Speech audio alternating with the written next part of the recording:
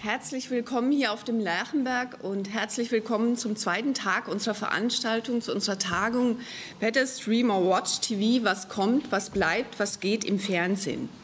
Es freut mich sehr, dass auch heute so viele unserer Einladung gefolgt sind.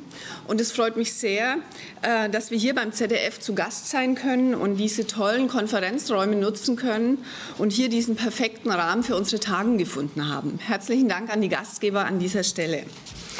Ja, ja, ich denke, das ist ein Applaus wert. Wir sind gestern schon eingestiegen, für die, die nicht dabei waren. Wir haben schon eine sehr, sehr lebhafte Diskussionsrunde gehabt mit unterschiedlichen Branchenvertretern in der Staatskanzlei. Vielleicht eine erste kurze Bilanz, äh, was kommt, was bleibt, was geht was kommt. Die Abschlussfrage, wie Fernsehen 2030 aussehen wird, hat ein sehr, sehr vielfältiges Bild ergeben.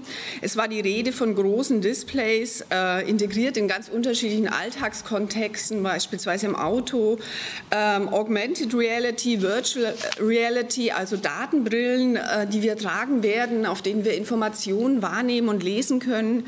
Also sprich viel technische Innovation ähm, was, die, was die Befragten vor Augen hatten. Inhaltlich ganz klar war das Thema Vielfalt prägend, nämlich eigentlich noch mehr Angebote, noch mehr Inhalte. Und damit war die Auffindbarkeit zentral, nämlich äh, auf den unterschiedlichen Plattformen wirklich die Inhalte dann zu finden, die der Nutzer sucht. Ein ganz, ganz großes Thema.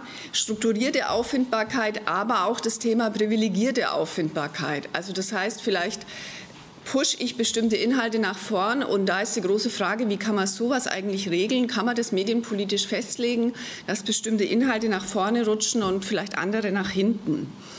Was bleibt? Ich glaube, es war Einigkeit, ich hoffe, Sie sehen das genauso wie ich, ähm, Einigkeit, dass das lineare Fernsehen Bestand haben wird, also diese gewohnte Lean-Back-Funktion erhalten bleiben kann, erhalten bleiben wird äh, und hier natürlich qualitativ hochwertiger Content zentral sein wird, also auch kreativer Content. Ähm, ganz wichtig was, äh, was geht. Also ich glaube, es war auch äh, sichtbar oder spürbar, dass die Bedeutung der Sendermarken in ihrer Leuchtturmfunktion äh, so nicht erhalten bleiben kann. Also, und damit bleibt eigentlich die Frage, äh, wie schafft man dann Sendungsbranding, wenn es eigentlich nicht über die Marken, über den Namen der, des Kanals mehr funktionieren kann? Also wie baut man Zuschauerbindung auf? Das ähm, war vielleicht so eine erste kleine persönliche Bilanz. Heute geht es weiter. Wir haben vier thematische Panels und wir werden bestimmt diese Fragen weiter vertiefen, zum Beispiel das Auffindbarkeitsthema im Nutzerpanel. Wir werden verschiedene Fragen wieder an, äh, aufnehmen und äh, haben vier thematische Panels, Markt, Nutzung, Angebot und äh, das letzte Panel, die Rolle der öffentlich-rechtlichen Anbieter, wie ist, die, wie ist der Funktionsauftrag nun zu definieren, wie kann man ihn sehen.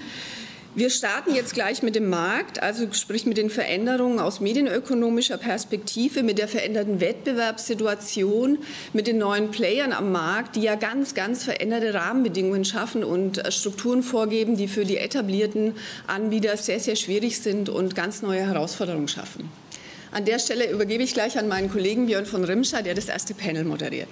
Ich wünsche uns allen einen schönen, interessanten zweiten Tag, eine spannende Diskussion und freue mich auf die Panels. Dankeschön.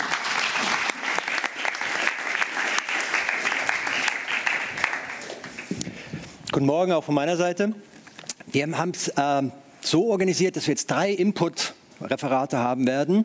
Ich stelle Ihnen die Referenten jeweils kurz vor und danach äh, werden wir ein bisschen diskutieren. Am Ende öffnen wir das auch für Fragen von Ihnen. Wir beginnen mit Werner Ballhaus. Werner Ballhaus ist Partner bei PwC. Ähm, gelernter Steuerberater, Wirtschaftsprüfer und seit vielen Jahren nicht nur in der Beratung tätig bei PwC, sondern auch verantwortlich für den Entertainment und Media Outlook, sozusagen die Referenz für, wenn jemand Prognosen braucht, wie wird es denn weitergehen im Medienmarkt. Also wenn man auch in eine andere Mediengattung expandieren will, wenn man vielleicht als ausländischer Player auf den deutschen Markt eintreten wird. Und er ist so freundlich, dass er uns heute Morgen so die Highlights aus dem neuesten Entertainment im Media Outlook präsentieren wird, damit wir so eine Vorstellung haben, was glaubt denn zumindest PwC, wie, werden, äh, wie wird sich der Fernsehmarkt bis 2021 entwickeln. Ich freue mich sehr, dass Sie da sind. Bitte schön, Herr Ballhaus.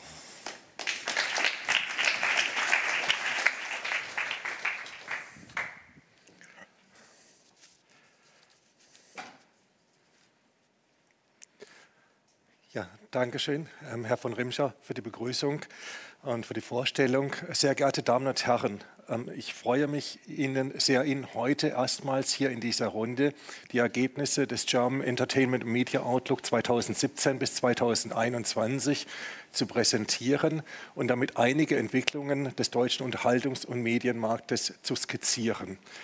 Der German Entertainment und Media Outlook erscheint jährlich seit 15 Jahren. Wir untersuchen hier 17 Segmente des Unterhaltungs- und Medienmarktes. Der Outlook enthält ausführliche Daten zu Konsumenten- und Werbeausgaben für die, nächsten, für die letzten fünf Jahre und Prognosen für die nächsten fünf Jahre. Bei unseren Prognosen berücksichtigen wir insbesondere technologische, wirtschaftliche, demografische, institutionelle, verhaltens- und wettbewerbsbedingte Faktoren, die die einzelnen Segmente der Unterhaltungs- und Medienbranche beeinflussen. Unsere Prognosen basieren auf mathematischen Modellen, die wir dann aufgrund unseres Fachwissens validieren und ergänzen. Für den deutschen Unterhaltungs- und Medienmarkt prognostizieren wir ein durchschnittliches Wachstum von 2,4 Prozent in den nächsten fünf Jahren. Im globalen Vergleich kann der deutsche Markt beim Wachstum nicht ganz mithalten. Für einen entwickelten und etablierten Markt ist das Wachstum aber vergleichsweise hoch. Dennoch ist die Wachstumsquote geringer als die des Bruttoinlandsprodukts. Die entscheidende Triebfeder des Wachstums ist selbstredend die Digitalisierung, von der einige Angebote wie Streaming profitieren und die zugleich Printmedien wie Zeitungen, Zeitschriften und Bücher unverändert unter Druck setzt. Und dabei tritt ein Wandel innerhalb der digitalen Welt in den Vordergrund. Die digitale Nutzung wird mobiler. Zu Beginn möchte ich einen kurzen Blick auf die Entwicklung des gesamten Marktes werfen. Wir beobachten, dass die Werbeausgaben stärker wachsen als die Konsumentenausgaben.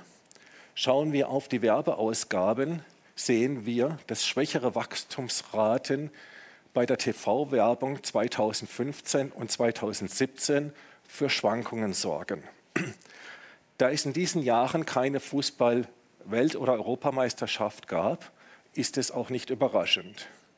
Und darüber hinaus gingen 2015 die Werbeeinnahmen von Zeitungen und Zeitschriften stärker zurück als sonst. Online-Werbung und TV-Werbung bleiben Wachstumstreiber, die Wachstumsraten flachen aber ab. Bei den Konsumentenausgaben können die hohen Wachstumsraten digitaler Geschäftsfelder nicht über einen längeren Zeitraum gehalten werden. Wir sehen hier eine Abflachung ab 2018. Die Wachstumsraten werden aber auch wieder steigen. Wir haben 2021 eine Erhöhung der Rundfunkabgabe berücksichtigt und erwarten einen neuen Wachstumsschub für Internetvideo infolge der Einführung von 5G.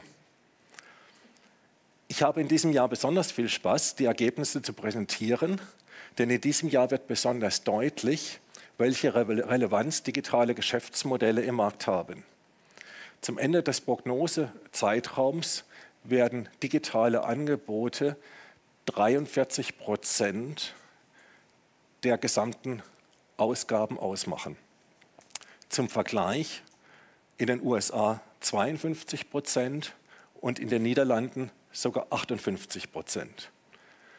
Während einige Wachstumstreiber in der Unterhaltungs- und Medienbranche komplett oder weitgehend digital sind, Internetvideo, Internetzugang, Online-Werbung, Videospiele können andere traditionelle Segmente den Rückgang bei physischen Produkten durch digitale Produkte kompensieren.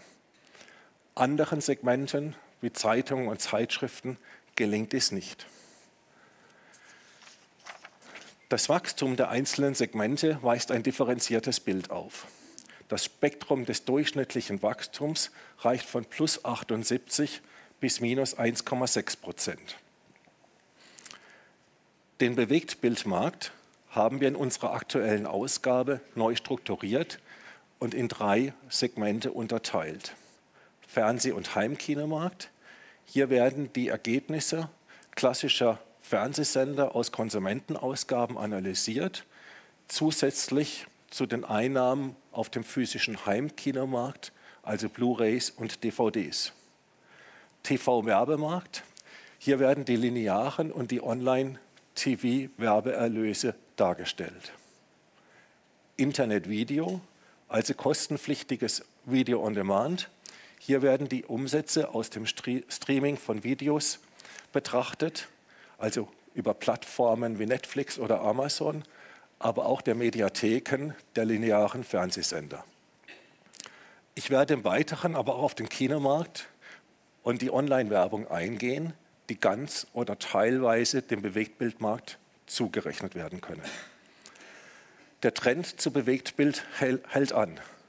Die schlägt sich im, Wachstum des Datenkonsums mit knapp 22 Prozent nieder. Die hohe Nachfrage nach Datenvolumen ist zu einem großen Teil dem Herunterladen und Streamen von Videos geschuldet.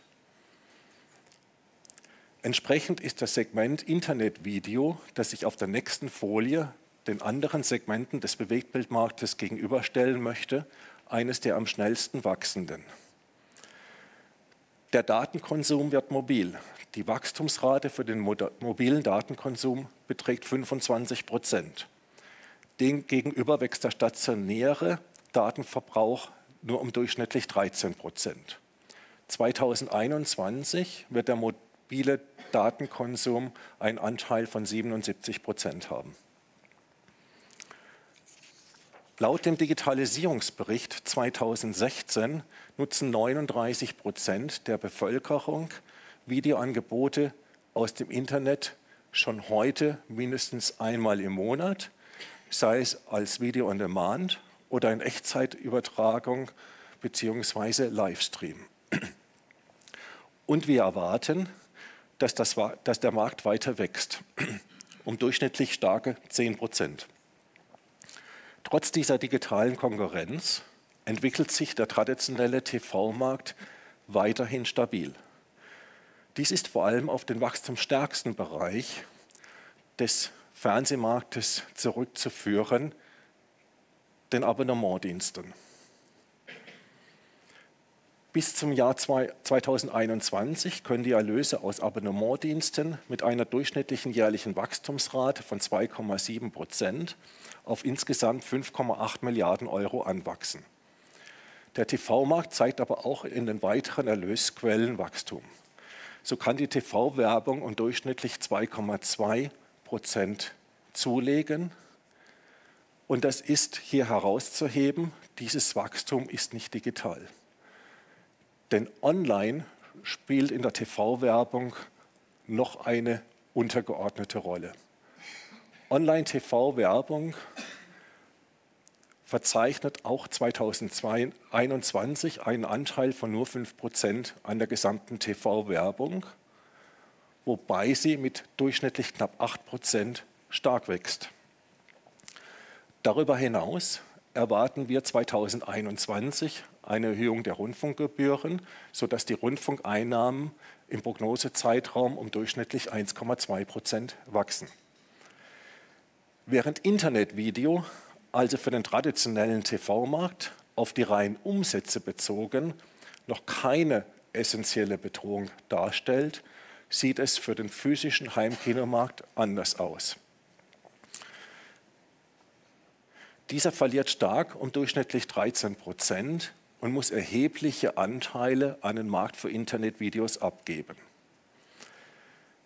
2021 werden die Einnahmen der Streaming-Anbieter die Einnahmen auf dem Heimkinomarkt und auch auf dem Kinomarkt jeweils übersteigen. Das sehen Sie hier in der rechten Grafik. Doch auch der traditionelle TV-Markt darf sich nicht auf den bisher positiven Prognosen ausruhen. Die Wachstumsprognosen sind zwar positiv, aber nicht besonders hoch. Und in anderen Ländern, wie beispielsweise unseren niederländischen Nachbarn, ist die Wachstumsrate im Prognosezeitraum für die lineare TV-Werbung bereits rückläufig. Hier sind Streaming-Angebote noch erfolgreicher als hierzulande und setzen den TV-Unternehmen stark zu.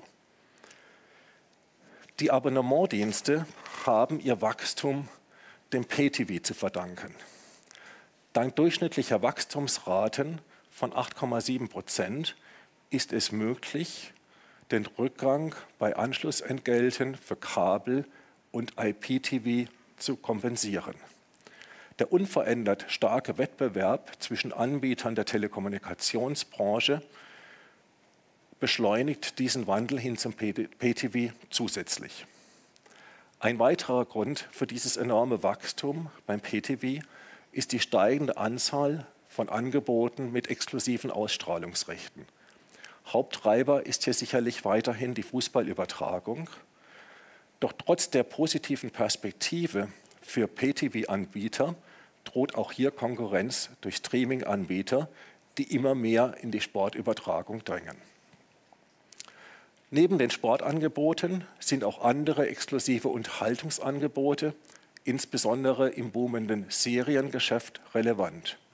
Hier ist auf dem Markt ein hoher Wettbewerb eingetreten. Pay-TV-Anbieter, traditionelle TV-Anbieter, Streaming-Anbieter und Telekommunikationsunternehmen versuchen beispielsweise durch exklusive Serien Kunden an sich zu binden. Da der Konsument immer mehr auf jederzeit abrufbare Geräte unabhängige Inhalte zugreift, passen auch die PTV-Anbieter und die traditionellen TV-Anbieter ihre Angebote an. So können Inhalte, die beispielsweise bei Sky früher nur im Abonnement erhältlich waren, nun auch abgerufen werden. Traditionelle TV-Anbieter bieten Inhalte auf Abruf schon seit längerer Zeit auf ihren Mediatheken an. Lassen Sie mich nun auf die Empfangsarten eingehen. Auch hier gibt es einige interessante Entwicklungen.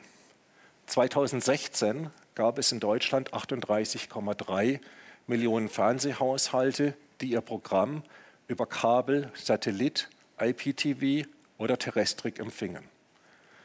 In den kommenden Jahren rechnen wir bei den einzelnen Empfangsarten mit heterogenen Entwicklungen.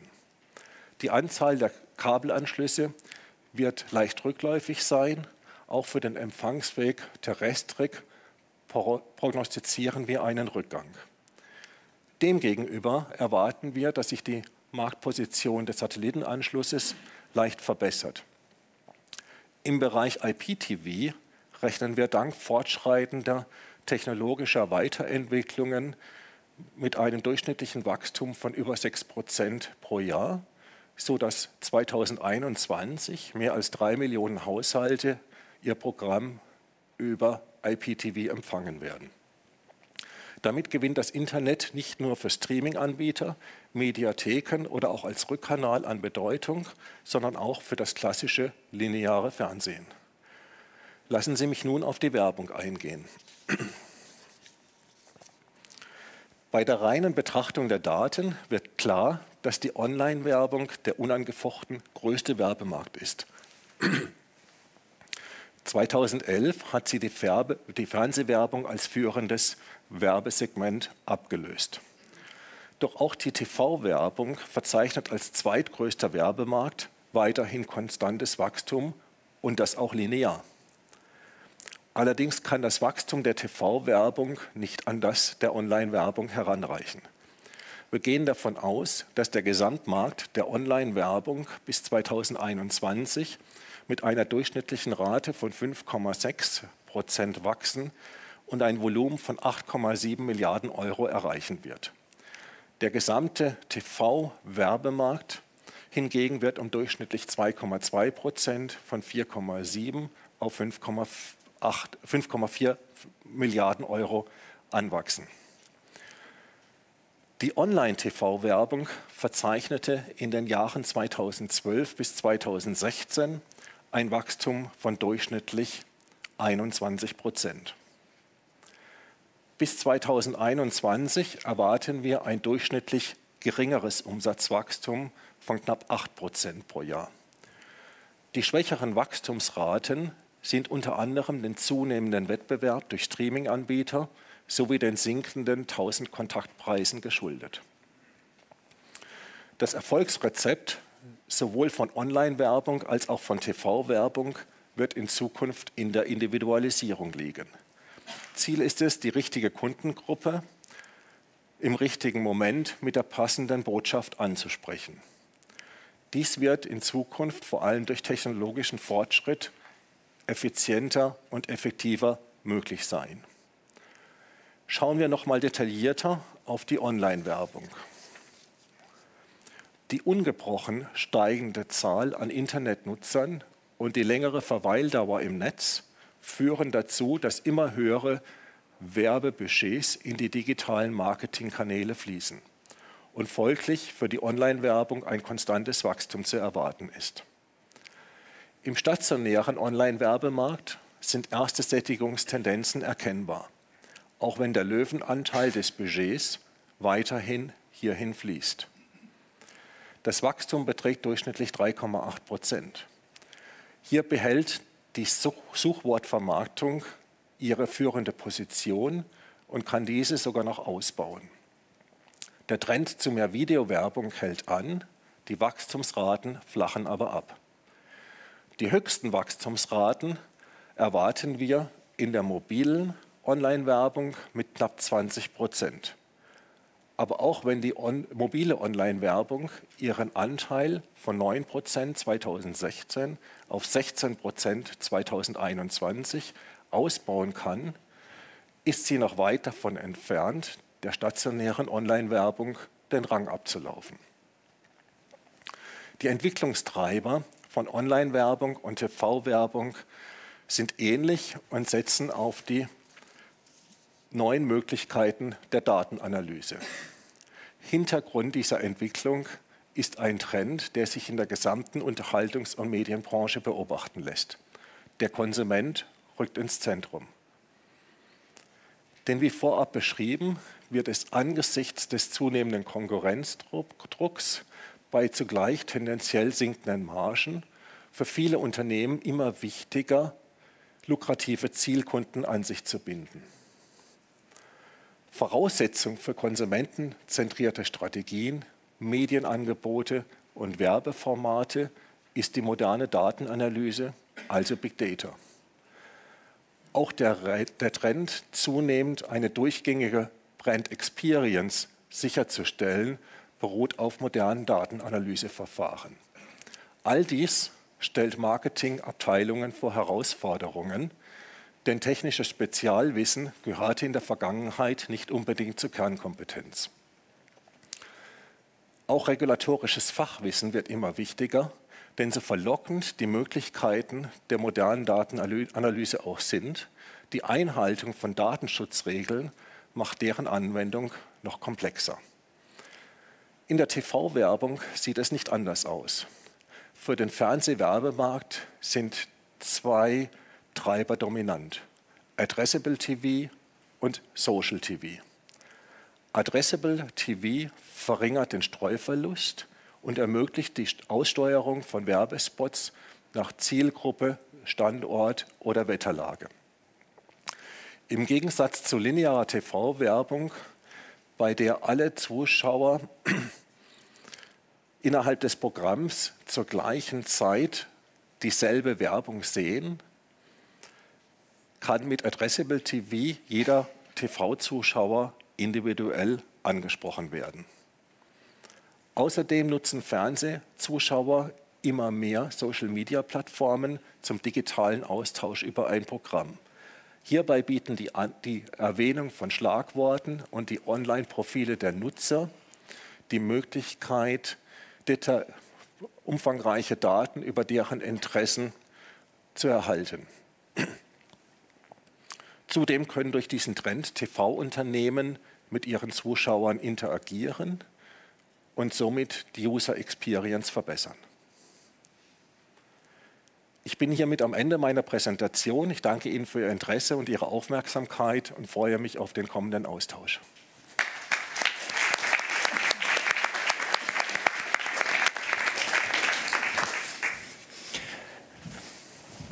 Besten Dank, Herr Ballhaus. Jetzt haben wir schon mal einen Ausblick bekommen, ähm, was vielleicht kommen könnte. Ich habe gesehen, auf den nächsten Folien werden wir einen ganz weiten Rückblick auch bekommen. Ähm, ich freue mich sehr, begrüßen zu dürfen Frau Elke Waldhelm. Sie ist Programmgeschäftsführerin von Sky Deutschland, äh, ist seit 2005 bei Sky, ähm, hat also schon eine längere Zeit dort verbracht und kennt das, dass ähm, Pay-TV nicht immer so eine rosige Zukunft prognostiziert wurde, wie wir jetzt gerade gesehen haben. Pay-TV ist schon öfter totgesagt worden und ähm, Jetzt ist es wieder da. Manche nennen es halt nicht mehr Pay-TV, sondern dann sind sie aber gerne bereit, für Netflix oder Amazon Prime zu zahlen. Ich hoffe trotzdem für Frau Waldhelm, dass dann auch noch Kunden bei Sky bleiben werden und nicht nur bei Streamingdiensten. Ähm, Frau Waldhelm hat auch früher mal in der Beratung gearbeitet, ist aber wie gesagt seit 2005 ähm, im Programmgeschäft und inzwischen im Executive ähm, Board von Sky. Und ich freue mich sehr, dass Sie heute da sind, um uns einen Einblick zu geben, wie ein Anbieter damit umgeht, dass sich der Markt wandelt. Dankeschön. Dankeschön.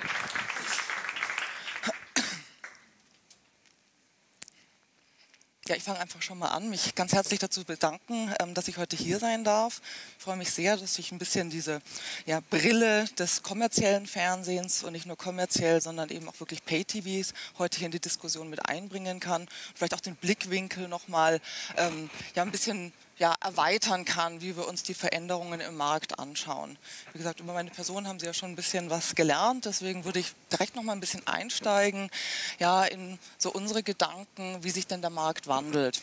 Als ich mir das Thema noch mal angeschaut habe, wie wandelt sich der Markt, habe ich mir eigentlich noch mal die Gegenfrage gestellt.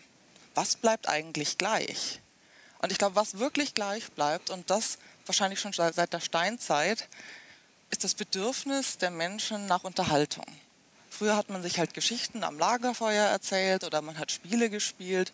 Und ich glaube, bis heute ist das der Kerntreiber, weshalb wir Menschen dazu bringen, auf einen Screen zu schauen, sage ich mal. Ja, der hat sich ja etwas gewandelt. Ich habe hier dieses alte Bild noch gefunden. Also in den 30er Jahren ähm, ging es ja los, dass man überhaupt mal was über die Flimmerkiste gesehen hat. Seitdem ist natürlich wahnsinnig viel passiert. Ja, denkt man nochmal zurück, Farbfernsehen, große Revolution in den 60er Jahren, ja, das öffentlich-rechtliche Fernsehen wurde aufgebaut, 80er Jahre, ich weiß es noch, wie fasziniert ich war, dass es plötzlich RTL und ähm, Sat 1 gab und plötzlich kamen ganz andere Inhalte auch nach Deutschland. Ja, wenn man plötzlich nach der Schule California Clan und Knight Rider geschaut hat, ja, dann war das irgendwie nochmal eine Unterhaltung aus einer anderen Welt im wahrsten Sinne des Wortes.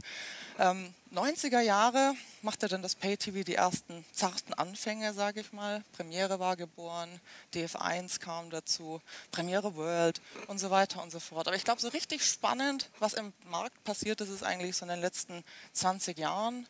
Und ich glaube, das sind so ganz drei, äh, drei ganz entscheidende Faktoren, die hier eine Rolle gespielt haben. Das erste Thema ist Digitalisierung. Also Digitalisierung hat ja allein schon die Eintrittsbarriere für Fernsehsender in den deutschen Markt ähm, deutlich reduziert, ja, weil ein analoges, eine analoge Bandbreite bei Astra zu kaufen, ne, hat schon nochmal eine andere äh, Kostenfaktor aufgerufen als eben eine digitale, genauso bei der, bei der ähm, Kabelverbreitung. also ich denke mal grundsätzlich, das Thema digitale, Digitalisierung war ein ganz wesentlicher Faktor für mehr Vielfalt, auch im klassischen linearen Fernsehen. Das zweite ist das Internet. Ja, was ja auch schon in den 90er Jahren entstand. Aber ich denke, erst, und das ist der dritte Faktor, den ich für wahnsinnig wichtig halte, über die verschiedenen Devices und eben diese ähm, ja, überall Verfügbarkeit des Internets, eben über Wi-Fi, über, über 4K, LTE oder wie es auch immer heißt, dass man wirklich eine sehr einfache Zugänglichkeit hat, ähm, über gestream, also auf gestreamte Inhalte ähm, zuzugreifen. Und heute leben wir halt in der Tat in einer Welt, wo der Konsument eigentlich mehr die Qual der Wahl hat, weil wir eine Vielfalt an Möglichkeiten haben, ja, Unterhaltung zu genießen, wie es in der Form noch nie da war. Also wann kann ich schauen? Immer, jederzeit. Egal, ob ich linear einschalte und ein bisschen seppe oder ob ich eben gezielt mir die Inhalte in der Mediathek oder in einem Streaming-Service anschaue. Wo? Auch die Frage stellt sich nicht mehr. Also früher hat man das Lagerfeuer im Wohnzimmer gesucht. Heute kann ich in der U-Bahn, im Zug, äh, im Flughafen, wo auch immer über die verschiedenen Devices alles gucken, was ich halt gerne gucken möchte. Entweder live oder eben nochmal auf Abruf. Wie? Ja, auch da haben wir jetzt alle Flexibilitäten über Kabel, Satellit oder eben über IP, über das Smartphone, über einen Laptop, über das klassische Fernsehgerät mit Set-Top-Box, ohne Set-Top-Box, alles möglich. Ja, und das Entscheidende ist natürlich das Was. Also auch die Vielfalt der unterschiedlichen Inhalte, ja, die ich als Kunde oder als Konsument sehen kann, hat ein Ausmaß angenommen, der in der Form noch nie da war. Ja, über die klassische Eigenproduktion, also die deutsche Produktion, bis hin eben zu Lizenzen, die nach Deutschland kommen aus dem Ausland. Aber was natürlich jetzt auch durch das ganze Thema Internet und YouTube zum Beispiel eine ganz andere Bedeutung gewonnen hat, ist immer noch User-Generated äh, Content, ja, Shortform-Content, also alles Inhalte, die jetzt in dem klassischen ja, Verbreitungsweg äh, eines linearen Fernsehsenders nie so ein Zuhause gefunden hätten, wie es jetzt eben über diese auch sehr zielgruppenspezifischen Angebote möglich ist. Also wir haben eine große Veränderung in der Diversifikation, wo die unterschiedlichen Inhalte herkommen. Wir haben eine Großzahl von neuen Anbietern, eben auch gerade über die, die OTT-Anbieter. Und da meine ich genauso frei empfangbare wie eben YouTube, äh, aber eben auch die große Revolution, die ja auch jetzt in den letzten drei Jahren kam, ist auch, dass wirklich Streaming-Dienste, die einen globalen Footprint haben, wie Netflix und Amazon nach Deutschland gekommen sind. Und die natürlich auch durch diese globale Skalierung nochmal andere Möglichkeit haben, Content auf ich sage jetzt zumindest mal Multi-Territory-Ebene ähm, verfügbar zu machen und dadurch natürlich auch ganz andere ja, Kostensynergien bei Einkauf oder eben Eigenproduktion möglich machen. Und das Dritte, wie schon angesprochen, die Nutzung. Die Nutzung ist deutlich flexibler geworden und nicht, weil sich das irgendjemand erfunden hat aus meiner Sicht, sondern weil das Bedürfnis einfach da ist. Der Kunde will einfach flexibler entscheiden, wo und wann ich schaue. Aber auch hier unterstütze ich die These, am schönsten ist es immer noch auf der Couch, im eigenen Wohnzimmer. Und das sehen auch wir bei Sky, bei all der Flexibilität, die wir anbieten. Ähm, die meiste Nutzung ist nach wie vor über den großen Screen, im Wohnzimmer, auf der Couch, wo es halt dann doch am gemütlichsten ist. Ja, also unsere Strategie, ein bisschen salopp formuliert, ist so, bei Sky möchten wir den One-Stop-Shop anbieten. Sprich, wir möchten verschiedene Inhalte aus relevanten Genres anbieten, ähm, aber auf eine flexible Art und Weise, egal über ein Big Screen oder ein Small Screen, live äh, oder eben auf Abruf. Das ist die Kombination und die Flexibilität, die wir anbieten möchten. Wenn ich aber Shop sage, ja, dann impliziert das ja schon ein bisschen, dass das nicht umsonst ist. Das heißt, wir müssen wirklich bei Sky uns überlegen, wie verkaufen wir unser Produkt? Wie schaffen wir es, dass Menschen dazu bereit sind, zusätzlich zu bezahlen und zusätzlich zu einem Angebot, was in Deutschland sehr reichhaltig ist, was auch qualitativ gut ist, ja, was, was sehr flexibel auch, auch nutzbar ist. Und deswegen sind für uns immer die entscheidenden Fragen, hm, was können wir wirklich anbieten, was, was anders ist und was den Menschen dazu motiviert, zu sagen, ja, ich hole mir jetzt Sky und wenn ich es habe, ich bleibe auch dabei. Also auch diese Frage ist für uns gleichermaßen wichtig, dass wir die Kunden, die wir die gewinnen, dass wir die eben auch halten können. Und wir haben so, ich sage immer so gerne, das sind so die drei großen Cs, die uns da treiben.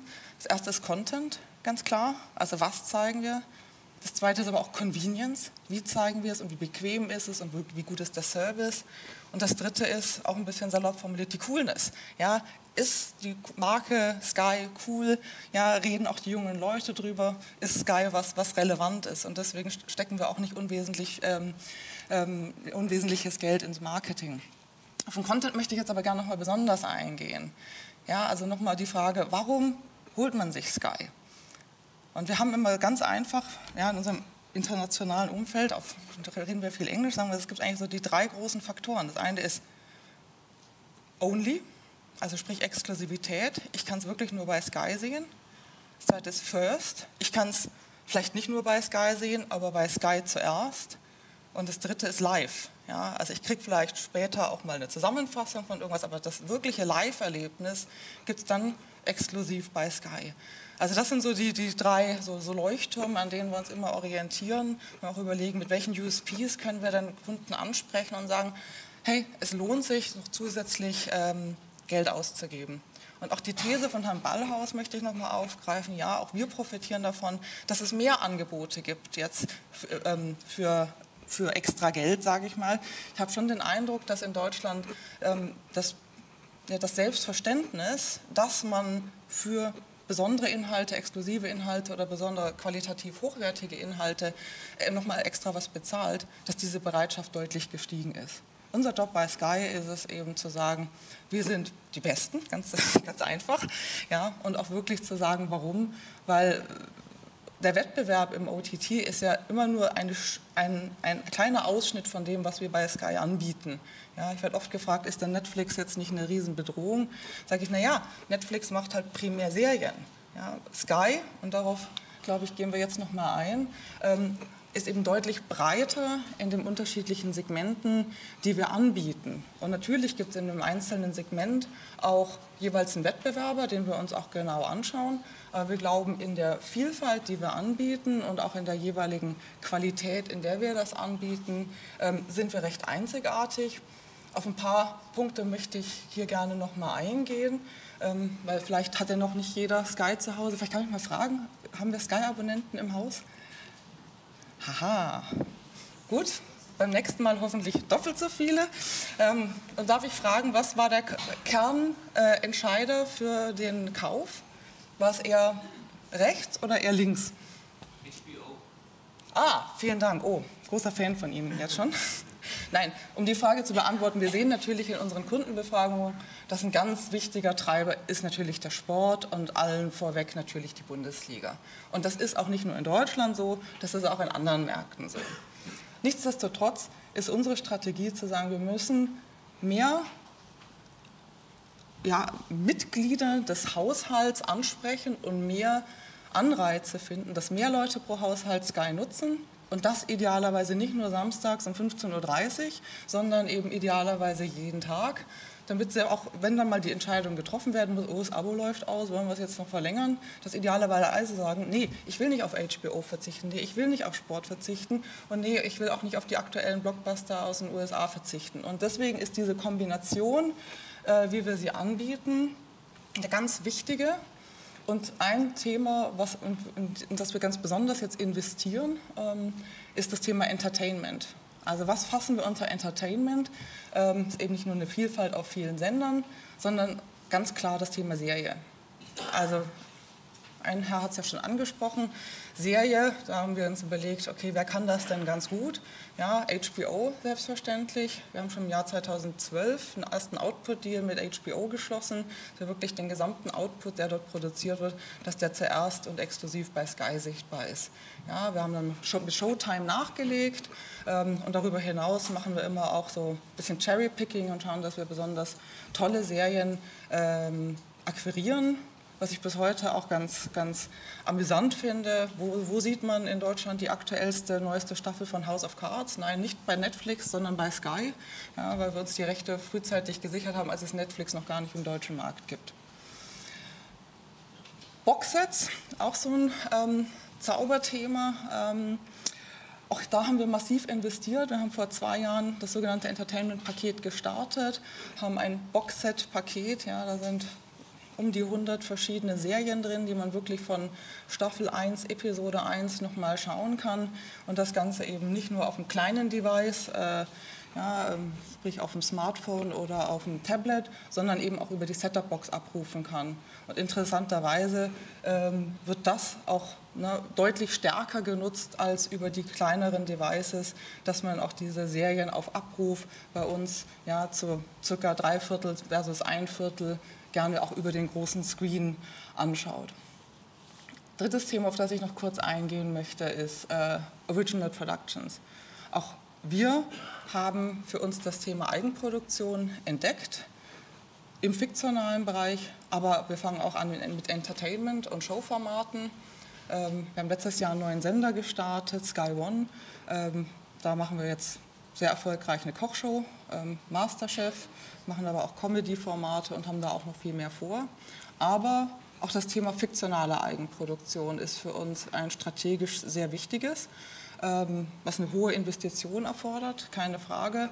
Aber auch hier glauben wir daran, dass wir dieses Thema Only oder First ähm, sehr, sehr gut bedienen können. Das Konzept hat sich auch schon bewiesen. Wir sind ja mittlerweile eine, ein Teil einer Sky-Gruppe. Ja, es gibt Sky auch in England und in Italien. Die haben schon ein bisschen eher damit angefangen, ähm, Eigenproduktionen zu machen. Ähm, und da kann man das wirklich schon sehen, wie sich das im Geschäftsmodell auch positiv manifestiert. Und da haben wir jetzt auch in Deutschland viel vor. Über ein Thema, über das wir gestern Abend schon gesprochen haben, worauf wir auch sehr stolz sind, unsere erste Eigen äh, Co-Produktion, die wir mit, mit ARD Digeto und als internationalen Vertriebspartner ähm, mit der Beta gemacht haben, ist Babylon Berlin. Das haben wir, ich glaube, die Gespräche starteten so 2013. Das war damals für uns eine, ja, ein, eine große, große Entscheidung. Ja. Investiert man wirklich doch signifikantes Geld ähm, in ein Content, den man noch gar nicht sehen kann. Ja, wir kommen ja mehr so aus dem klassischen, erst gucken wir es uns an und dann entscheiden wir, ob wir, ob wir, ob wir dabei sind. Ähm, dass die Serie sich zu dem entwickelt, was sie heute ist, ähm, konnten wir damals noch nicht mal träumen. Und insofern sind wir jetzt sehr, sehr, sehr stolz, da dabei zu sein und auch die Serie unseren Abonnenten als erstes anbieten zu können. Wir hatten gestern so ein bisschen die Diskussion, ja, wer zeigt es eigentlich zuerst? Und ich hoffe, dass durch meine Darlegung, warum ähm, wir glauben, dass, ja, dass unser Geschäft überhaupt wachsen kann, ist eben die wichtige Grundlage, dass wir etwas eben exklusiv oder eben zumindest als erstes haben. Ja, wenn wir nicht eine Erstausstrahlung haben, dann verliert es halt ganz schnell so ein bisschen das, die Qualität eines Zugpferdes, ein, ein Abonnement wirklich verkaufen zu können. Das ist aber nur der Anfang. Wir produzieren gerade drei weitere Serien. Ähm, acht Tage ist gerade abgedreht worden. Das Boot, ich glaube, Ne? Den Film kennt noch jeder. Da, auf, darauf basierend äh, drehen wir gerade eine Serie. Ab heute, ich glaube, wir waren letzte Woche noch in La Rochelle. Ähm, die Woche waren sie in München, in Bavaria Studios. Nächste Woche geht es wieder in Prag weiter. Also eine riesige Produktion. Und die dritte Serie, ähm, die, glaube ich, gestern die Produktion losging, ähm, ist der Pass. Ähm, basiert so ein bisschen auf der, der Idee von ähm, der Brücke äh, oder der Tunnel ja, es wird eine Leiche gefunden auf der Grenze zwischen Deutschland und Österreich und zwei Ermittlerteams müssen sich so ein bisschen miteinander arrangieren. Ähm, und da bin ich auch der festen Überzeugung, da werden wir ganz ähm, hochwertiges, äh, ja, eine Pay-TV-Serie erstellen, die unsere Abonnenten hoffentlich in, in Band zieht und äh, dadurch auch ähm, enger noch an Sky bindet. Diese Vielfalt an Content ist halt immer nur so gut, wie sie eben auch genießbar und auffindbar ist. Also auch ich bin der festen Überzeugung, ähm, dass das Thema Auffindbarkeit ein ganz zentrales ist bin nicht so sicher, ob Sendermarken wirklich an Bedeutung verlieren, insofern Sendermarken helfen, eine Orientierung zu schaffen, wo finde ich ungefähr was. Ähm, aber ich bin schon auch der festen Überzeugung, dass es das Wichtigste ist eigentlich eine starke Content-Brand und dass man die findet und dass man diese starke Content-Brand, also diesen Leuchtturm, dann auch über die verschiedenen ähm, Empfangswege einfach findet. Das ist jetzt aber nur noch mal so aufgelistet, um für die, die nichts, noch, noch nicht Sky haben, ähm, um ein Gefühl zu geben, wie, wie gehen wir an das Thema ran. Also eine Set-Top-Box ist immer noch ein, ein wichtiger Teil von Sky, weil die Set-Top-Box einfach auch ermöglicht, aufzuzeichnen. Ja, man kann Dinge dort einfach lagern, jederzeit wieder ab, abrufen und eben auch andere Features mit anbieten kann wie zum Beispiel Abruf von On-Demand, also es werden Inhalte drauf gepusht oder die Set-Top-Box ist aber auch mit dem Internet verbunden, dass man auf, auf alle Inhalte, die wir eben nonlinear zur Verfügung stellen, auch zugreifen kann und das Ganze in einer, in einer guten Qualität. Ähm, wir planen eine neue Set-Top-Box ähm, nächstes Jahr nach Deutschland zu bringen. Die ist schon in äh, UK gelauncht. Die nennt sich Q. Auch hier möchten wir noch mehr äh, Convenience schaffen, indem wir auch mehr ja, andere Inhalte verfügbar machen über diese ähm, Set-Top-Box. Also es wird auch da einen App Store und einen Zugang über, auf Apps geben. Auch hier versuchen wir ja auch von den, von den ähm, öffentlich-rechtlichen und auch von den, von den privaten Inhalten Zugang zu geben, ja, dass eben auch ein Kunde einfach über eine Set-Top-Box alles alles empfangen kann, äh, was ihn interessiert. Einfach auch hier diesen Convenience-Punkt. Gesagt, Sky on Demand ist unser Abrufservice über die Set-Top-Box. Da sind die gleichen Inhalte drauf, wie sie eben auch dann über OTT ähm, auf den mobilen Devices äh, zu sehen sind. Da haben wir auch für bestimmte Zielgruppen entweder eigene Segmente innerhalb der App, also Serie, Entertainment, Film, Sport. Äh, aber auch wir haben eine eigene App für Kids, weil wir gesehen haben, da gibt es doch immer mal wieder die, äh, ja, ähm, das Bedürfnis, dass die Kinder in einem bestimmten Umfeld bleiben äh, und nicht in, auf Inhalte zufällig stoßen, die sie nicht sehen sollten. Um uns noch wettbewerbsfähiger zu machen gegen die äh, Wettbewerber im OTT-Bereich, ähm, haben wir auch ein reines OTT-basiertes und monatlich kündigbares äh, Angebot gestartet. Das nennt sich Sky Ticket, auch für ab 9,99 Euro abonnierbar. Das ist unsere Strategie, eben auch gerade jüngere Zielgruppen anzusprechen, die sich nicht gleich für zwölf Monate oder länger committen wollen, sondern das ist so die, die Einstiegsdroge, sage ich mal, äh, Sky, wo man es einfach mal ausprobieren kann.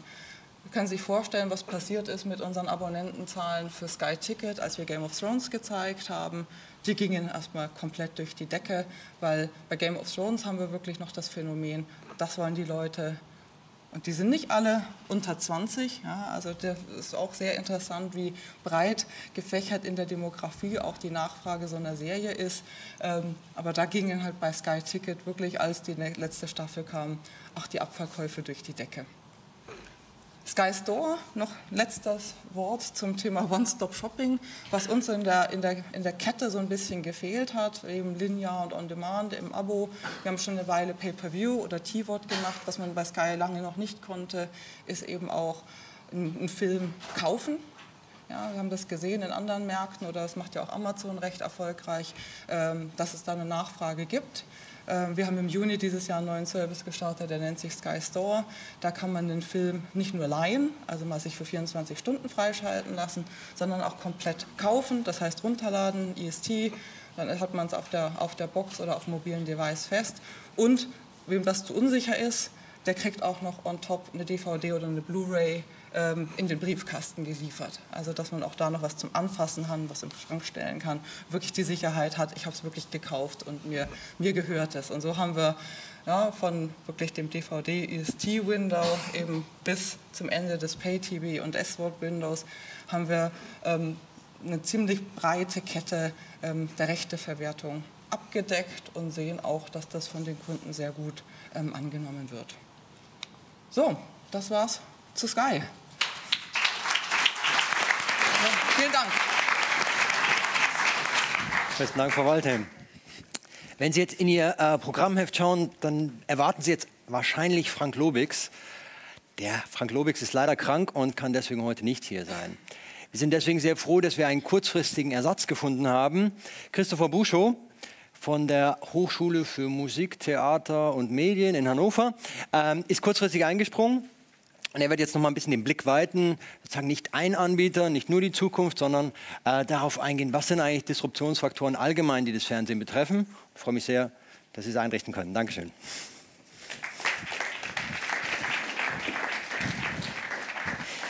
Ja, ganz herzlichen Dank, lieber Björn, für die freundlichen einleitenden Worte.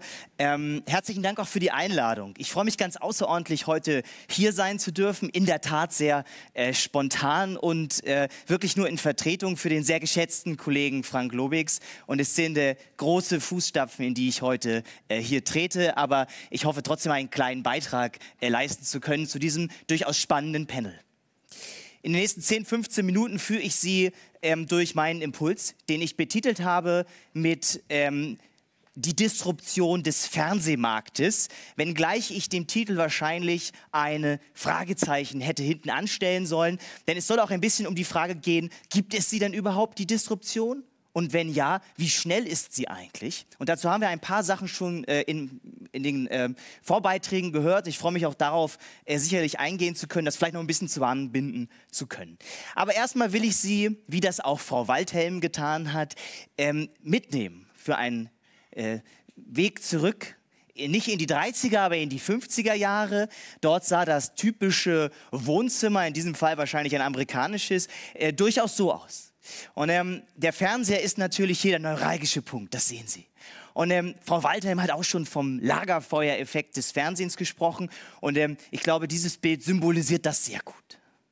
Gleichwohl, meine sehr verehrten Damen und Herren, das wissen Sie, die Realität der Medien heute sieht so nicht mehr aus. Sie sieht wahrscheinlich eher so aus, wenn Sie das hinten auch erkennen können. Es gibt ihn noch, den Fernseher. Er ist dort hinten und der kleine Steppke da mit der Windel äh, schaut auch noch zu. Ja?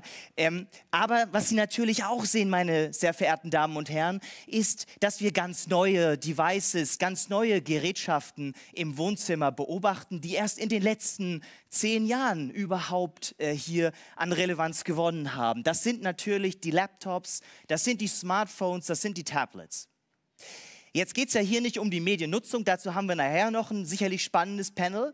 Gleichwohl muss man natürlich ja nochmal herausstreichen, dass das Fernsehen auch in den jungen Zielgruppen immer noch eine große Relevanz hat. Ja? Also wir wollen das jetzt hier wirklich nicht für tot erklären. Ähm, das wäre statistisch gesehen absolut falsch. Ähm, gleichwohl ist ähm, das Smartphone mittlerweile für Jugendliche das wichtigste Medium geworden. Und jetzt können Sie sich fragen, wer beherrscht denn eigentlich dieses Smartphone? Also wer kontrolliert eigentlich die Schnittstellen zu den Nutzerinnen und Nutzern, wenn wir uns mal das Smartphone anschauen? Und ich finde es immer sehr instruktiv, mal einen Blick zu werfen auf die jetzt heranwachsende Generation. Die jungen Leute, die Medienkonsumenten der Zukunft, die 12- bis 19-Jährigen. Da hilft einem die Gym-Studie des SWR immer sehr. Und äh, das ist mal die Auflistung der Plattformen, die für Jugendliche in Deutschland im Alter von 12 bis 19 Jahren am wichtigsten sind. Und Sie sehen, es sind natürlich die großen amerikanischen Digitalunternehmen, die hier das Medienökosystem, in das sich Jugendliche in erster Linie begeben, kontrollieren. Ja, es stimmt, auf diesen Plattformen finden natürlich auch noch die etablierten Rundfunksender beispielsweise statt, aber in erster Linie sind es eben ähm, auch neue Formate, die hier entstehen. Denken Sie ans YouTube-Ökosystem und YouTube-Stars. Denken Sie an Instagram und die Influencer, die dort entstehen sind, mit riesigen Reichweiten. Ja? Ähm, und interessant auch, all diese Plattformen spielen eine wichtige Rolle im Bereich Video. Wenn Sie mal überlegen, YouTube hat mittlerweile eine Milliarde Stunden Videokonsum am Tag. Bei WhatsApp, ja, was vor allem zur interpersonalen Kommunikation genutzt wird, werden jeden Tag 250 Millionen Videos verschickt. Oder denken Sie an Facebook, mittlerweile 8 Millionen Videoabrufe am Tag. Und das Gleiche gilt für Snapchat, da teilöffentliche Kommunikation, die ganz stark videodominiert ist. Also all das ist in dieser Ökonomie der Aufmerksamkeit, die wir hier in diesem neuen veränderten digitalen Medienökosystem betrachten, ähm, natürlich auch in Konkurrenz. Also der Druck kommt eigentlich von zwei Seiten. Er kommt von der interpersonalen, teilöffentlichen Videokommunikation und er kommt von den neuen Playern, die Sie hier auch sehen.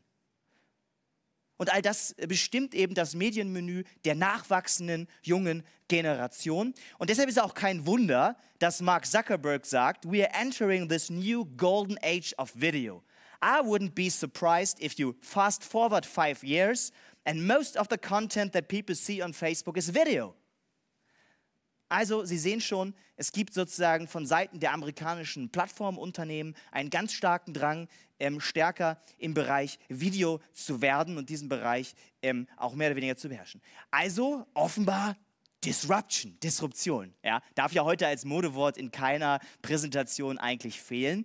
Was meint Disruption? Nun ja, erstmal nichts anderes, so zumindest bei Clayton Christensen, der ähm, einer der Gründerväter dieser Theorie ist. Disruptive äh, Technologie ist eine Technologie, die das Potenzial besitzt, nahezu eine andere bestehende Technologie vollständig zu verdrängen. Denken Sie an Fotografie, analoge Fotografie, digitale Fotografie. Was machen wir heute? Klar, digitale Fotografie, analoge vielleicht noch in kleinen Nischen.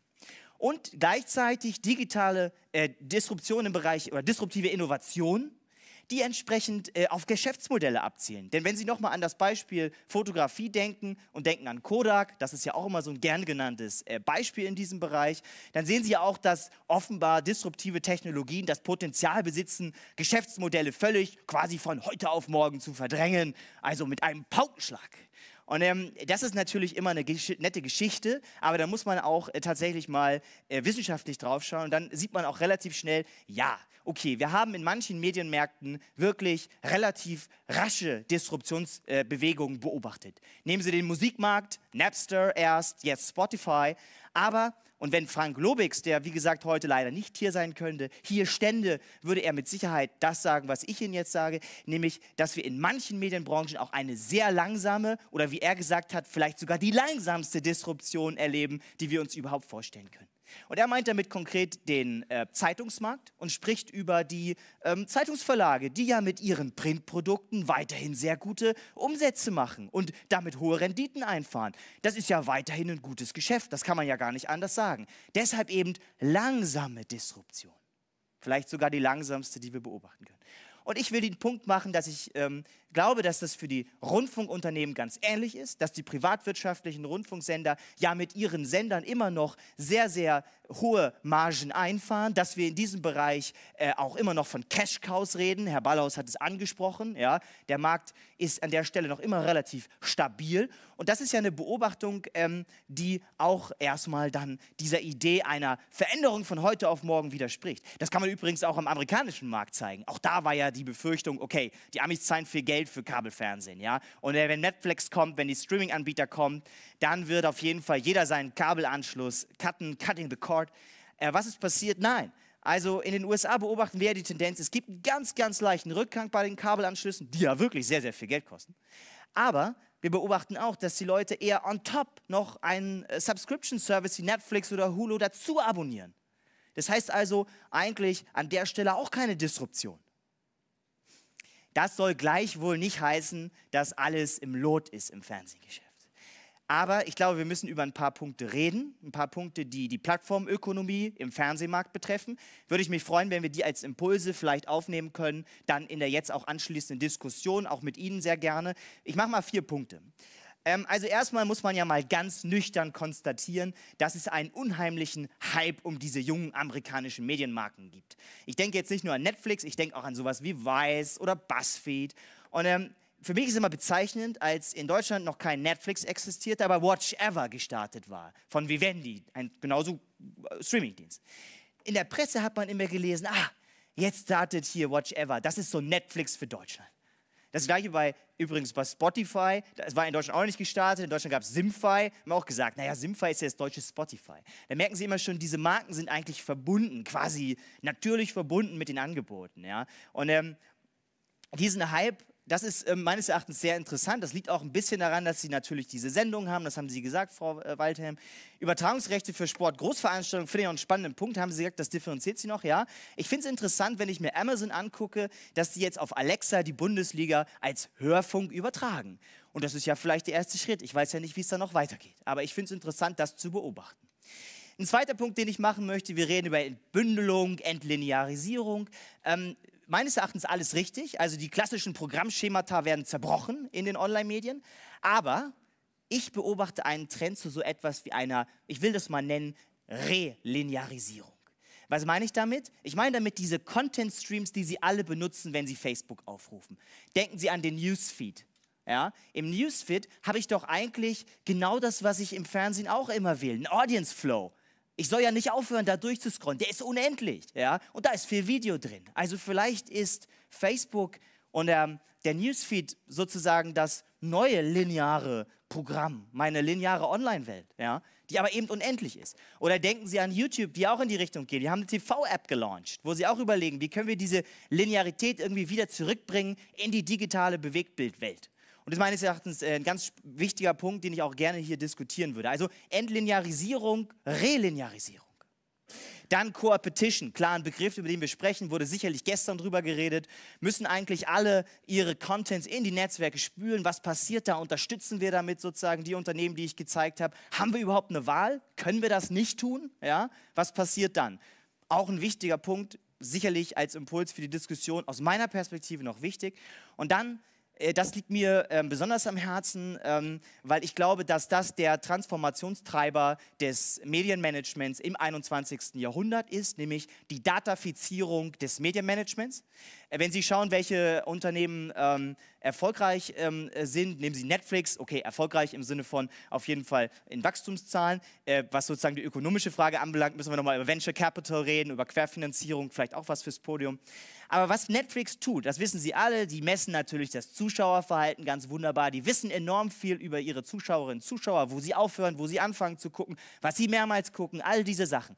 Aber wussten Sie auch, dass Netflix so circa jeden Film, der jemals in den USA verlegt wurde, oder verbreitet wurde, wirklich händisch hat von Menschen codieren lassen mit etwa 35 Seiten langen Codebüchern und quasi alle möglichen Schlüsselszenen äh, gecodet, getaggt hat und auf dieser Grundlage 75.000 oder mehr als 75.000 verschiedene Genres definiert hat. Sie können also optimal, weil sie sehr, sehr, sehr, sehr viel Wissen einfach über die einzelnen Programme haben, das wunderbar matchen mit den entsprechenden Nutzungsverhalten und können auf der Grundlage sowohl neue Sendungen planen als auch äh, sehr gute Vorschlag, Personalisierungsalgorithmen entwickeln. Und das ist ein unheimliches Asset in der digitalen Medienwelt, äh, was ähm, meines Erachtens äh, die Grundlage für ganz neue Geschäftsmodelle Geschäftsmodelle äh, bildet.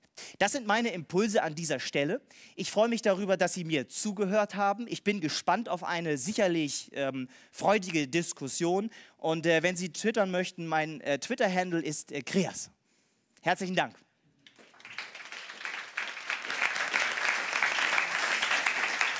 Herzlichen Dank. Dann darf ich auch die anderen aufs Podium bitten dass wir das nochmal ein bisschen aufarbeiten können, was wir jetzt gehört haben. Ich fand es sehr spannend, ähm, wenn wir den Ausblick am Anfang nehmen, dass, dass, es ja so aussieht, als ob jetzt mehr Geld in der Branche vorhanden ist. Also es wächst ja weiter, nicht ganz so stark wie es BIP offenbar, aber es wächst weiter. Und wenn wir in die äh, Forschung gucken zum Medienbudget, dann wird ja immer unterschieden, für was geben denn Menschen Geld aus. Und da sehen wir, das wächst zwar auch, aber eigentlich schon lange niedriger als das BIP. Also wir geben nicht immer, immer mehr Geld aus. Jetzt frage ich mich so ein bisschen, woher soll denn jetzt das ganze Geld kommen?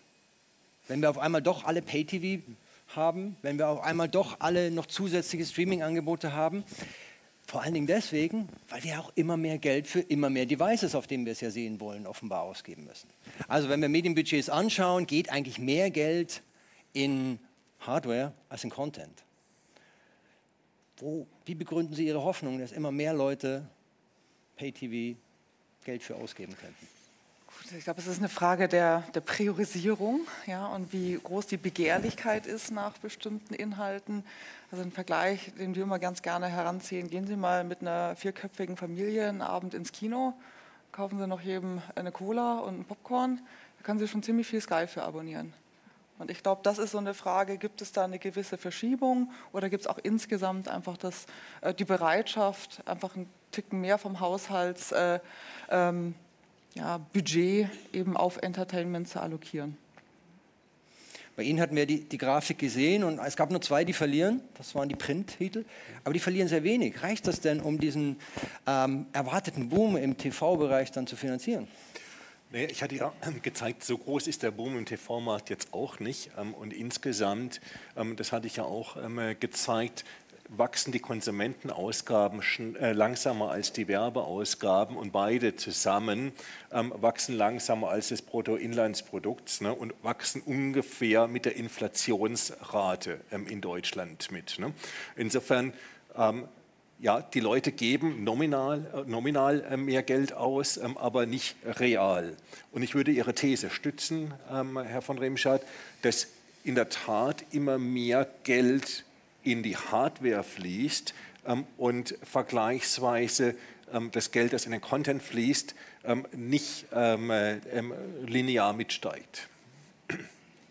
Den Punkt vielleicht dazu noch. Also es ist schon sehr spannend, finde ich, ähm, was wir gerade erleben. Weil ähm, wenn wir uns mal die großen Plattformen anschauen, ja, Netflix durch Venture Capital hochgezüchtet, könnte man sagen.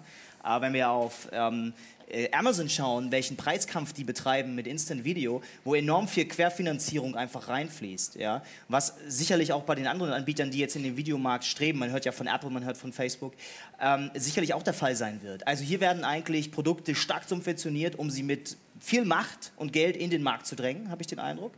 Und ähm, die Frage ist, wie lange das gut gehen kann, weil wir sehen mal das Beispiel Spotify. Äh, Spotify ähm, ist eigentlich zu günstig. Also sie sind ja, machen guten Umsatz, aber es eine miserable ähm, ähm, Bilanzen eigentlich, also die Fehlbeträge. Ja. Und die Frage ist sozusagen, wie lange kann das noch gut gehen? Ja.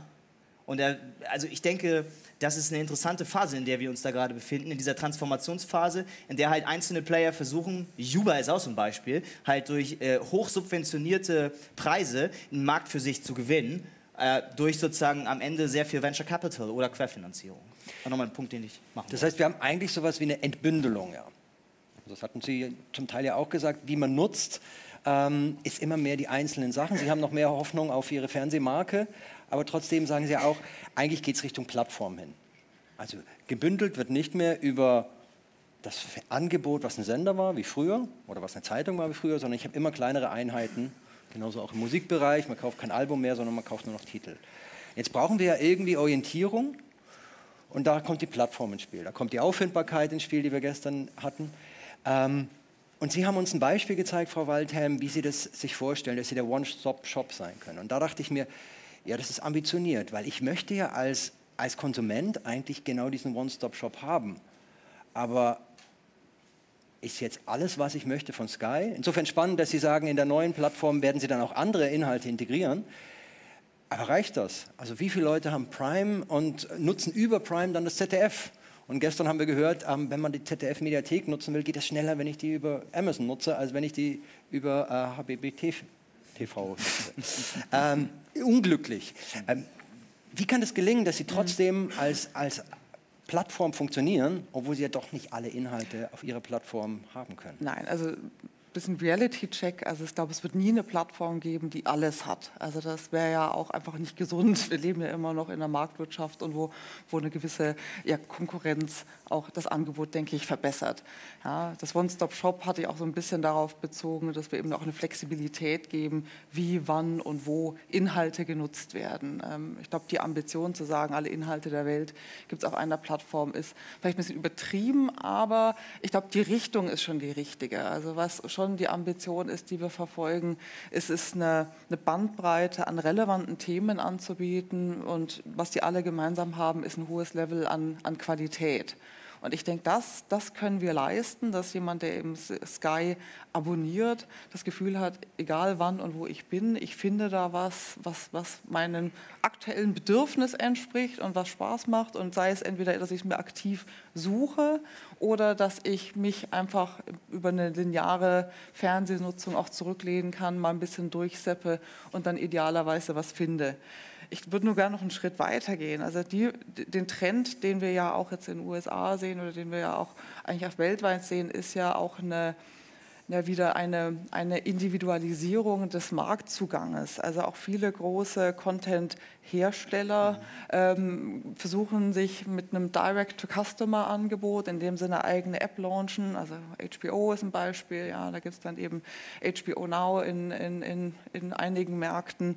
Ja, Disney hat jetzt Disney Live in, in UK gelauncht. Also wir sehen da schon auch eine gewisse ähm, Entwicklung, ähm, dass das verschiedene Anbieter selber an Kunden gehen wollen. Auch im Sport, glaube ich, sieht man das ja. US-Sportarten ja, vermarkten sich jetzt alle über eine eigene App.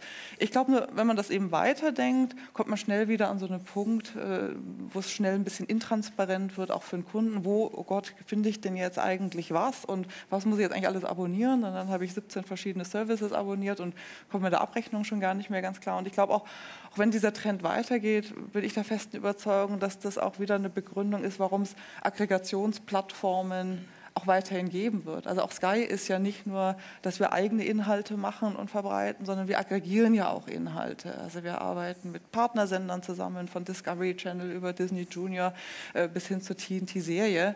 Ähm, und auch das ist, ist, ist durchaus denkbar, dass das eben nicht nur im linearen Bereich passiert, sondern dass man eben auch im, ja, andere On-Demand-Angebote eben über eine Plattform bündelt, aber dass man das ein bisschen transparenter dann eben im, im Packaging macht, dass man vielleicht auch eine klarere Orientierung gibt. Ähm, wir haben ja gestern auch darüber gesprochen, diese Auffindbarkeit, das neue Modewort, was mir mal jemand aus England erzählt hat, ist jetzt Searchability, ja, wie, wie searchable ist ein Content und es hört sich natürlich wieder ein bisschen hm an, aber äh, das stimmt schon. Also auch, auch, auch wir stellen uns auf die Frage, wir haben so viele Inhalte und schaffen es eigentlich oft gar nicht so richtig alle zu zu kommunizieren und zu promoten und dann richtig großes Marketing zu machen, dass, dass, dass, dass wirklich jeder sagt, das, das muss ich jetzt wirklich, wirklich sehen. Das gelingt oft eben bei, bei gerade im seriellen Bereich, wenn man mehrere Staffeln hat ja, und sich eine Fanbase aufbaut.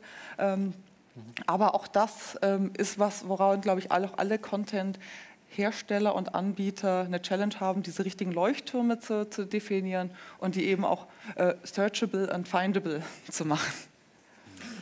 Wir haben viele schlaue Leute im Raum, deswegen will ich gleich auch ähm, das Podium öffnen für Ihre Fragen. Eine Frage ist mir aber noch wichtig, die ich gerne zunächst Ihnen, Herrn Ballhaus, stellen würde. Ähm, Sie hatten es thematisiert mit den Addressable Ads.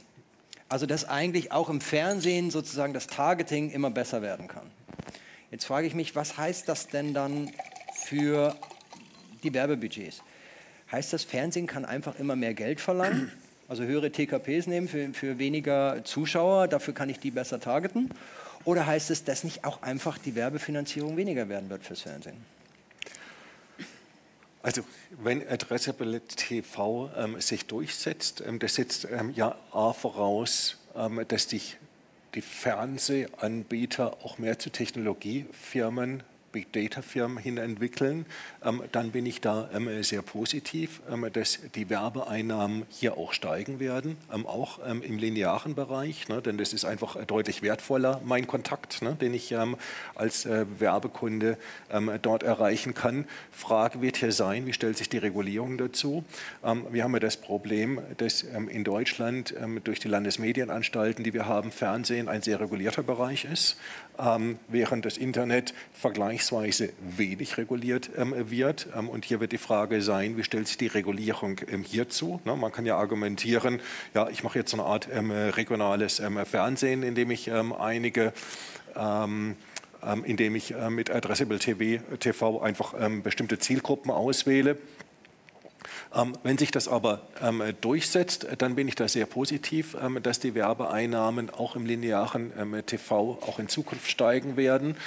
wenn sich das nicht durchsetzen sollte, dann werden wir irgendwann einen Peak erreichen bei den linearen Werbeeinnahmen, nicht in den nächsten fünf Jahren, hier prognostizieren wir noch positive Wachstumsraten, aber irgendwann wird es dann einfach einen Peak geben und dann gehen die Werbeeinnahmen dort zurück.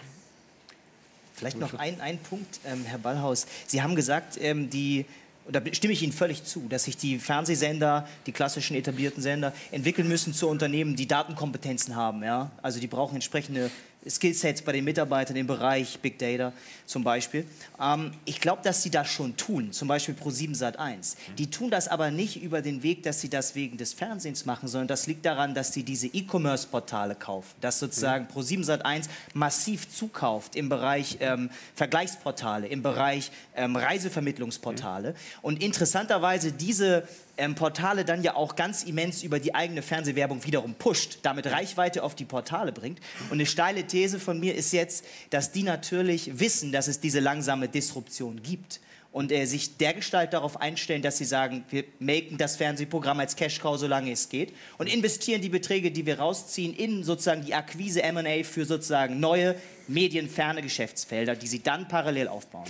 Da würde ich nicht uneingeschränkt ähm, zustimmen wollen. Ja, ähm, natürlich helfen ähm, die Erträge aus dem linearen Fernsehen, diese Investitionen vorzunehmen. Aber ähm, ich schaue ja bei jeder Investition auch so ein bisschen nach Synergien. Und die Datenkompetenz, die ich mir damit einkaufe, die ich natürlich für den E-Commerce brauche, die kann ich aber natürlich auch ähm, bei so Themen wie Addressable TV, äh, bei so Themen wie Social TV hervorragend einsetzen.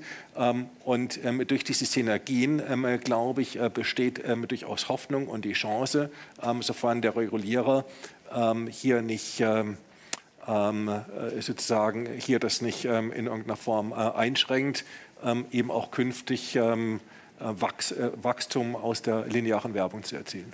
Absolute Zustimmung. Einzig der Punkt, ich bin gespannt, wie sich die Mediengeschäftsfelder dieser Unternehmen in Zukunft entwickeln. Vielleicht haben wir dann auch die Teilung zwischen Leuten, die sich leisten können und die sich nicht leisten können. Ich will das vom äh, Zitat nicht nochmal aufhören. Haben Sie Fragen an unsere Diskutanten? Bitte dort. Frau Seidelt kommt mit dem Mikrofon. Dankeschön.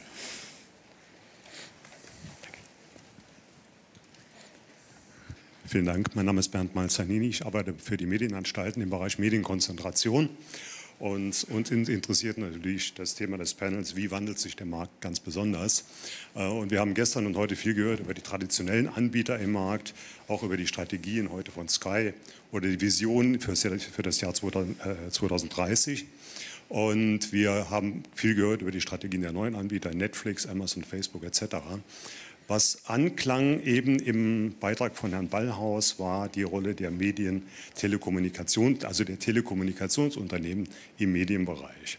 Und in Amerika haben wir ja schon so eine Idee, wie das aussehen könnte, eine geplante Übernahme von AT&T äh, beziehungsweise von Time Warner durch AT&T und in Deutschland erleben wir seit Jahren immer mal wieder Versuche der Deutschen Telekom, äh, Übertragungsrecht im Sportbereich zu erwerben. Und hier haben wir natürlich gewisse rechtliche Probleme. Die Telekom darf das nicht als Fernsehveranstalter machen. Jedenfalls ist das etwas strittig. Und die Dinge werden dann eben sublizenziert und von anderen Veranstaltern auf Sendung gebracht. Die Frage einfach auch an die ähm, Ökonomen hier, Herrn Ballhaus speziell, ich glaube, diese Telekommunikationsunternehmen werden möglicherweise ihren Markt ausgereizt haben, aber gut Geld verdienen und das investieren. Wie sehen denn die Beteiligten auf dem Panel die Rolle dieser Telekommunikationsunternehmen in der Zukunft der Fernsehanbieter? Herr Ballhaus, Sie waren direkt angesprochen. Ja, ähm, sehr gerne. Also die Idee, dass Telekommunikationsunternehmen auch in Inhalte ähm, investieren und sich ähm, stärker im Inhaltebereich ähm, positionieren, ist nicht neu. Ähm, die gibt es ähm, spätestens seit der Versteigerung der UMTS-Lizenzen. ich glaube, das war im Jahr 2000 oder 2001 für sehr viel Geld gewesen. so, also das ist nicht neu. ein bisschen neuer ist das Angebot über IPTV, also über das Internet dort eben auch Content, auch linearen Content anzubieten. Ähm, natürlich ähm, kann man hier über Synergien nachdenken, ähm, die man ähm, nutzen kann. Telekommunikationsunternehmen haben ja eine, ähm, haben äh, sozusagen eine sehr enge Beziehung eigentlich zu ihren Konsumenten, wissen sehr viel, ähm, was die tun. Sie haben auch eine regelmäßige ähm, Rechnungsstellung mit ihren Konsumenten. Übrigens, was die linearen TV-Anbieter so in der Regel ja nicht haben. Ne? Also diese ganzen Rechnungsprozesse. Und insofern tritt hier ein zusätzlicher Wettbewerber auf den Plan. Man sieht das sehr stark in den USA. Ähm, in Europa haben wir ähm, derartige ähm, Übernahmeideen weniger gesehen. Aber denken Sie mal an, an Vivendi, durchaus ein Konzern, der neben Inhalten eben auch Telekommunikation anbietet. Also das schließt sich meines Erachtens nicht aus. Herr Buschow, glauben Sie, dass das den Wettbewerb fördert? Ja, also vielleicht ein äh, interessanter Punkt, ähm, dass die Telekom, da sehe ich keine strategische Handschrift, die mich überzeugt, muss ich sagen. Also wenn Sie sehen Videoload, Musicload und so, da gab es Investitionen, dann wieder Desinvestitionen, hängt ziemlich stark offenbar auch zusammen mit der jeweiligen Führungsspitze und den jeweiligen Strategien, die da gerade verfolgt werden. Ähm, ich glaube, der Punkt, wenn wir 2030 sagen, ist ja eigentlich eher die Frage, wo, ähm, was passiert denn eigentlich, wenn andere Player, jetzt denken wir noch mal ganz weiter, nicht Telco, ja, in diesem Medienbereich vordringen. Also denken Sie an die Deutsche Kreditbank, die hat ja die Handball-WM übertragen. Das hat ja den Landesmedienanstalten auch schwere Bauchschmerzen bereitet. Ja. Ähm, die Frage ist sozusagen, was ist denn, wenn wir da so eine Entwicklung zu, naja, ich will mal, Corporate Publishing ist nicht der richtige Begriff, aber Sie meinen vielleicht, wissen vielleicht, was ich damit andeuten will. Ja? Dass also ähm, nicht Medienunternehmen zum Beispiel Sportrechte kaufen, um zu sagen, ja, das passt super mit unserer Marke zusammen. Warum zeigen wir das nicht unseren Kunden? Und das quasi wiederum subventionieren. Ja?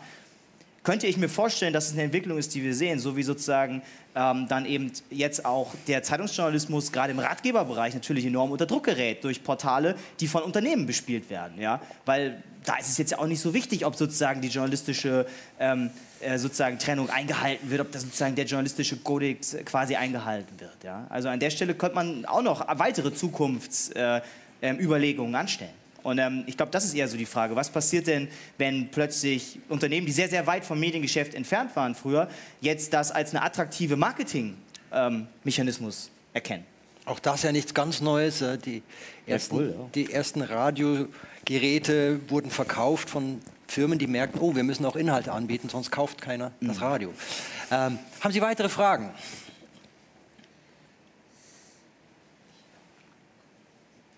Dort vorne haben wir ein Mikro da? Frau Seidel hier in der zweiten Reihe, danke.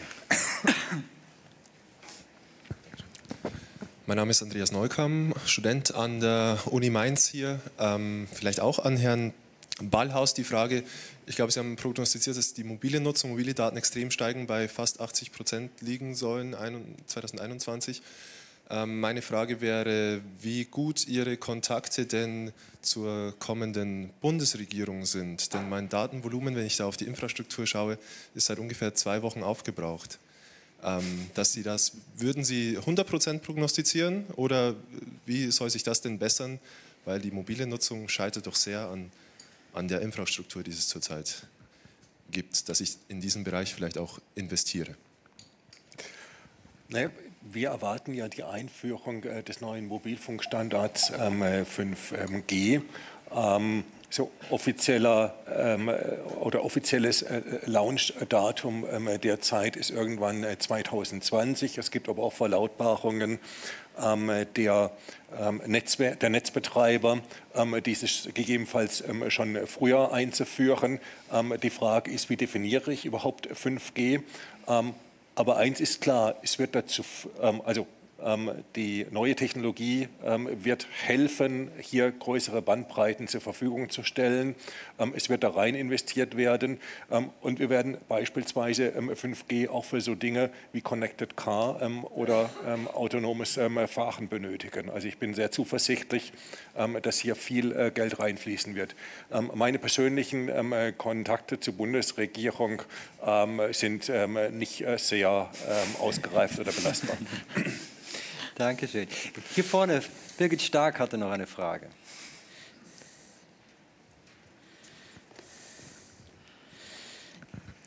Ja, äh, eine Frage an Herrn Buschhoff. Ich fand ähm, die These einer Relinearisierung total spannend, weil eigentlich reden wir genau über den gegenteiligen Trend momentan. Und wenn ich es richtig verstanden habe, geht es in die Form, also äh, Newsfeed von Facebook als Beispiel äh, Bündelung, äh, Nachrichtenaggregator, ähm, wäre wär das, wenn man es weiterdenkt, vorstellbar, dass sowas viel, viel stärker auch mit audiovisuellen Inhalten, mit Video, klar, aber mit äh, mehr Anbietern, ähnlich wie wir das bei den Zeitungsverlagen erlebt haben, erlebt haben die ganz konkret Kooperationen eingegangen sind mhm. mit Facebook, um ihre Inhalte da rein zu pushen und sowas auch im audiovisuellen Bereich mit anderen Anbietern? Ja, wäre auf jeden Fall denkbar. Also ich glaube, die Facebook-Strategie ähm, ist ziemlich klar. Also Video ist für Facebook sehr, sehr wichtig. Und ähm, das sieht man ja nicht nur an Facebook Live, sondern eben auch, wenn man mal den, den Newsfeed vergleicht von vor drei Jahren, wie viel Video jetzt mittlerweile drin ist. Und äh, wenn wir überlegen, sozusagen, dass dadurch gewisserweise ein neues Programmschema entsteht, Audience Flow, die Begriffe, die ich genannt hatte, ähm, dann ist es natürlich auch interessant, mitunter hier Kooperationen einzugehen. Auf jeden Fall. Äh, bei den Zeitungsverlagen, also meine Inst, ähm, äh, Instant Articles ist ja nun wirklich keine Erfolgsgeschichte. Ähm, deshalb ist die Frage, ob es da Überlegungen gibt, das weiß ich nicht. Ähm, was ich allerdings auch spannend finde, ist natürlich so ein Investment wie Oculus, ja, wo sozusagen Facebook einfach mal einen VR-Anbieter kauft, weil sie wissen, okay, vielleicht wird ähm, so ein Newsfeed später mal ganz anders rezipiert werden, nämlich ähm, eher durch Datenbrillen oder sowas. Ja. Und ähm, da wird es natürlich dann auch interessant und da wird natürlich auch Content gebraucht. Dann ist die Frage, Partnerschaft, Co-Opetition, das ist dann wieder der Begriff. Ja. Also wer kommt äh, sozusagen da rein? Ja. Und äh, da sind wir bei Auffindbarkeit, Searchability bei der Regulierung. Ist jetzt die Frage, ist das wirklich Relinearisierung oder geht es da eigentlich eher darum, einfach die Verweildauer zu erhöhen? Ja, es geht natürlich immer darum, die Verweildauer zu erhöhen. Das ist ja beim Fernsehen nicht anders. Also Was machen Sie denn, dass die Leute nach dem Fußball dranbleiben? Ja, ähm, wer in den letzten Wochen mal Fußball geschaut hat, also wir verweisen eigentlich immer dann im Anschluss auf einen Film oder auf Babylon Berlin. Also schalten Sie jetzt um und so und so geht es da weiter. Also für uns ist es natürlich auch sehr wichtig, dass wir den Audience Flow zumindest in der linearen Welt möglichst Anreize schaffen, auch auf der Plattform zu bleiben. Gelingt das auch bei Sky Go? Bei Sky Go ist es ein bisschen schwieriger. Ja, also auch da nutzen wir, dass wir ähm, vor dem Inhalt einen kleinen Trailer spielen, um einfach auch noch auf andere Inhalte aufmerksam zu machen. Ja, also und idealerweise passen die ungefähr äh, zu dem, was der Kunde sich eben anschaut, dass das thematisch zusammenpasst, dass wenn einer gerne ne, Serie A schaut, dann machen wir eben noch mal einen Hinweis darauf, da gibt es übrigens noch mehr davon. Ähm, und natürlich haben wir auch diese, diese sogenannte Binge-Viewing-Funktion, dass wenn man eine Episode geschaut hat, dass es mit der nächsten eben auch weitergeht. Ich meine, das ist jetzt nicht besonders neu, aber auch das hilft natürlich, ja, zumindest innerhalb einer, einer Staffel auch, auch dran zu bleiben. Ich glaube, Bitte. Tausend Grote ist mein Name. Ich wollte nur fragen, warum ist Audience Flow für einen Pay-TV-Anbieter relevant? Äh, wegen der zusätzlichen Werbeeinnahmen, die erzielt werden? Oder weil Sie die Erfahrung gemacht haben, wer lange guckt, äh, hat, ist auch länger Abonnent? Ähm, ich würde mal sagen, vor allem Letzteres. Also wir finanzieren uns ja äh, zum Großteil über die Abonnentengebühren, äh, die gezahlt werden. Und wir sehen dann eine ganz klare Korrelation. Wer mehr nutzt, ist zufriedener und wer zufriedener ist, äh, bleibt auch eher. Ja, also um es mal sehr, in sehr einfachen Worten zu formulieren. Und deswegen geben wir uns schon äh, Mühe, auch den Sky-Abonnenten mehr Anreiz zu geben, als ich sage jetzt mal nochmal samstags um 15.30 Uhr einzuschalten, wenn das Spiel vorbei ist, wieder auszuschalten oder eben dann wieder ähm, das, äh, einfach Free TV zu nutzen. Also das versuchte ich vorhin ja schon mal zu sagen. Also unsere, unsere Strategie basiert eigentlich auf einem ganz einfachen Bild, dass wenn die Familie zusammensitzt ja, und es geht darum, verlängern wir unser Sky-Abo oder nicht, äh, dass eigentlich jeder die Hand hebt und sagt, nee, ganz ehrlich, ich möchte eigentlich auf die HBO-Serie nicht verzichten und ich will auf den Live-Sport nicht verzichten und ich möchte eigentlich auch auf die Filme nicht verzichten. Und deswegen werden wir es eben auch schaffen, dass mal einer auch äh, ja noch vor kurzem das auch genutzt hat und nicht irgendwie in, in, in weite Vergangenheit blicken muss. Ähm, dann, dann, hilft uns das ungemein. Aber wir haben natürlich auch Abonnenten, die sagen, selbst wenn ich nur ja, einmal im Monat äh, mir eine neue Serie anschaue, dann ist das trotzdem so ein Mehrwert, dass ich dabei bin. Aber ich glaube, die Mischung macht. Und wir müssen eben schon schaffen, die Leute auch immer mehr davon zu überzeugen, was es eigentlich alles bei Sky gibt und dass das ein gutes Angebot ist, das sein Geld wert ist.